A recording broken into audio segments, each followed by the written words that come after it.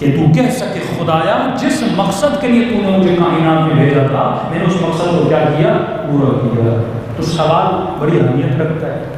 कुछ जवान काम कर रहे हैं बहुत अच्छा काम कर रहे हैं हुसैन के नाम से?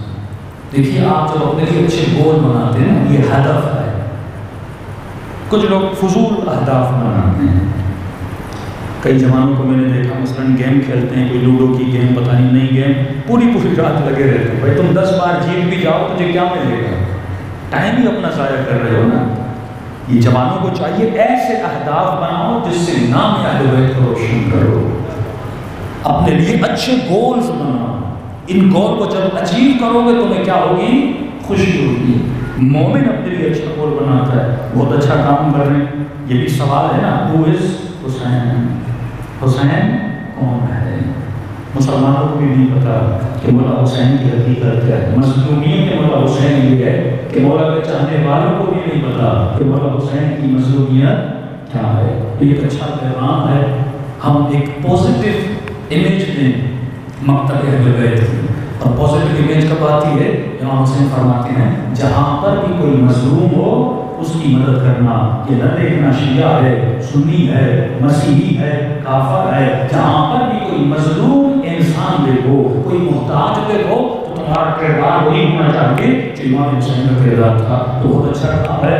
खून की डोनेशन का काम कर रहे हैं। थैलेसिया के जितने बेचारे मरीज़ हैं जिनको खून की कमी है। तो कहते हैं, बंदा अगर किसी का लुकमा भी खाए, किसी का खाना भी खाए तो उस बंदे पे उस खाने का क्या होता है? असर होता है। शिया न्याज करते इसीलिए हैं। अगर हुसैन का खाना खाएँगे तो कुछ लोग तो हुसैन की मोहब्बत भी दिल में ये हो नहीं सकता। आप किसी का खाओ और उसी का खाओ नहीं। तो अगर अली के चाहने वालों का खून लोगों की रगों में जाएगा यकीनन कुछ न कुछ मोहब्बत मौला हुसैन मोहब्बत पैदा होगी, इससे एहसास पैदा होगी। वही काम है जो आयतुल्लाह जरजकी ने अपनी कंट्री में किया।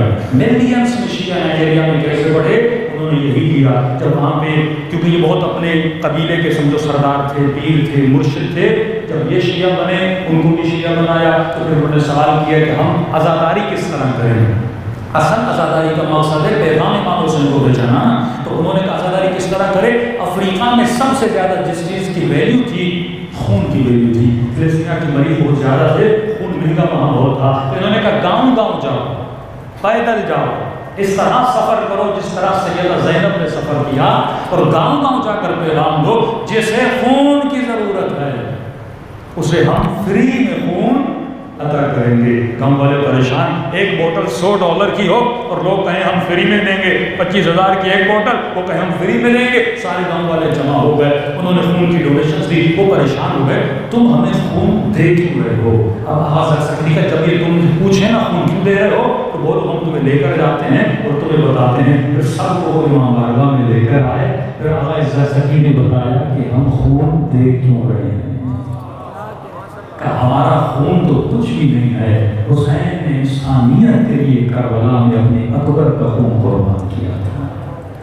जब उन्होंने सुना, ऐसी हस्ती के ये मानने वाले हैं। मिलियंस में उन्होंने शिया बनाए अपने एक अच्छे गोल की वजह से, अच्छी सोच की वजह से। तो जो आपके एक्शंस हों, उनके पीछे थ्योरी होनी चाहिए, सोच होनी चाहिए कि जो मैं कर रहा हूँ, उसके रिज़ल्ट बेहतर से बेहतर होने चाहिए। आज़ादारी का मकसद ये है कि ज़्यादा से ज़्यादा पैगाम इमाम हुसैन पहले। अगर मैं कोई ऐसी मजलिस करूँ, पूरा मजमा वाह करे, नारे मारे, तबर्राबाजी हो, उससे अगर शीयत को नुकसान हो तो इस मजलिस का कोई फ़ायदा नहीं है।